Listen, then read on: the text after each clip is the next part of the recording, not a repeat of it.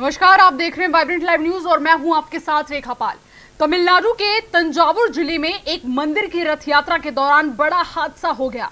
तंजावुर ज़िले में रथ जुलूस के दौरान ये घटना हुई। खबरों के मुताबिक बिजली का तार एक कार के संपर्क में आ गया, जिसके बाद ये घटना हुई। देखते ही देखते कई लोग करंट की चपेट में आ गए, जिसके बाद अब 11 लोगों की मौत हो गई है।